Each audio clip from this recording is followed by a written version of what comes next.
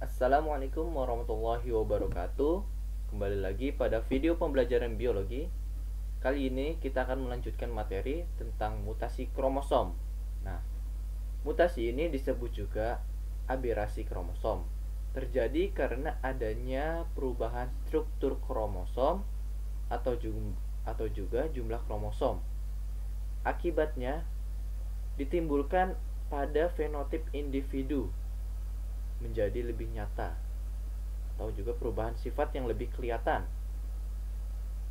Beda dengan mutasi gen yang hanya terjadinya perubahan protein, kalau mutasi kromosom dia efeknya lebih kelihatan. Misalkan contohnya semangka tanpa biji. Dia merupakan akibat dari perubahan atau mutasi kromosom. Biji jadi sedikit atau tidak ada biji. Mutasi kromosom sering terjadi karena kesalahan meiosis dan juga sedikit pada mitosis. Ada beberapa macam mutasi kromosom. Mutasi akibat struktur kromosom adalah sebagai berikut. Pertama, ada delesi. Dari kata delete yang artinya menghapus atau menghilangkan.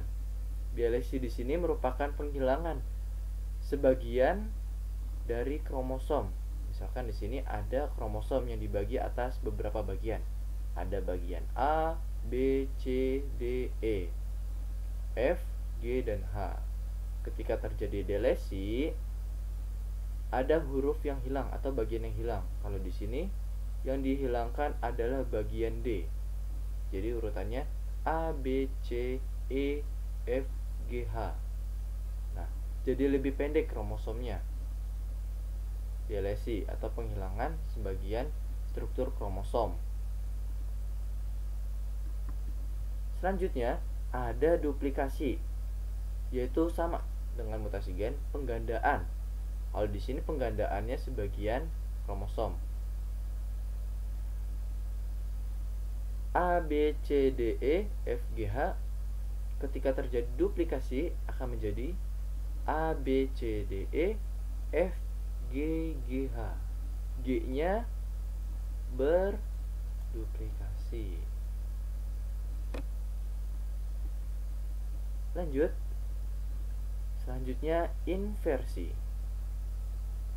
Inversi merupakan perubahan struktur atau urutan dari kromosom.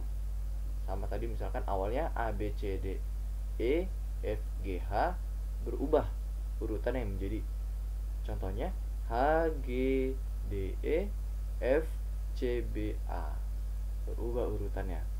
Karena urutannya berubah, maka nanti saat penterjemahannya juga akan berubah sehingga fenotip yang terbentuk akan berbeda dari fenotip yang sebelumnya.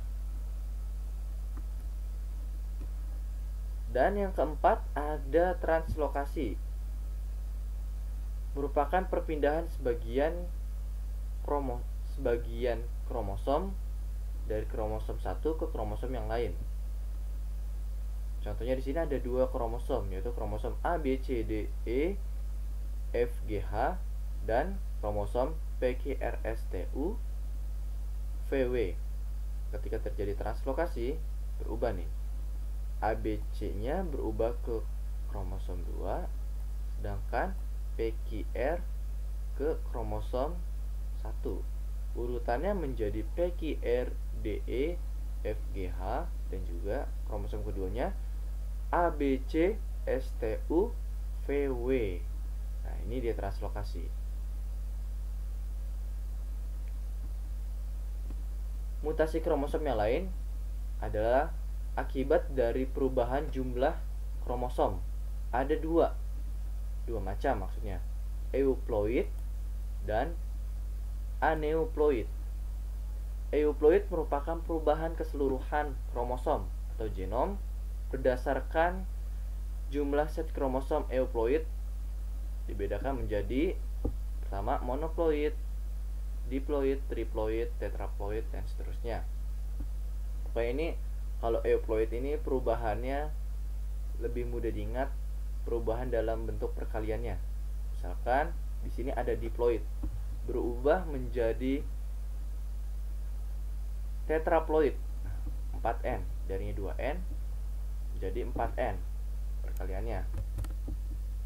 Kalau yang kedua ada aneuploid aneuploid ini penambahan atau pengurangan jumlah kromosom dalam suatu genom. Terjadi ketika anafaselik atau non disjunction ada beberapa macam. Pertama ada nelusomi yaitu pengurangan dua kromosom. Monosomi pengurangan satu kromosom. Trisomi penambahan satu kromosom sedangkan tetrasomi penambahan dua kromosom. Contohnya pada lalat buah jantan. Normalnya ini 2N jumlahnya ada 1 2 3 4 5 6 pasang kromosom. Kalau titiknya nggak dihitung nah ketika terjadi mutasi pertama mutasi monosomi ini terjadi pengurangan satu kromosom. Nih kromosom yang di bawah jadi hanya satu harusnya dua. Lalu kalau trisomi penambahan satu kromosom. Nah ini jadi tiga. Kalau tetrasomi penambahan dua. Dan terakhir nelusomi pengurangan dua.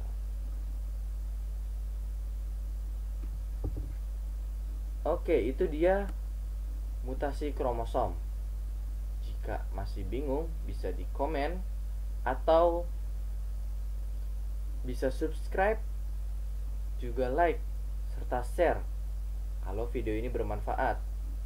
Kurang lebih mohon maaf. Assalamualaikum warahmatullahi wabarakatuh.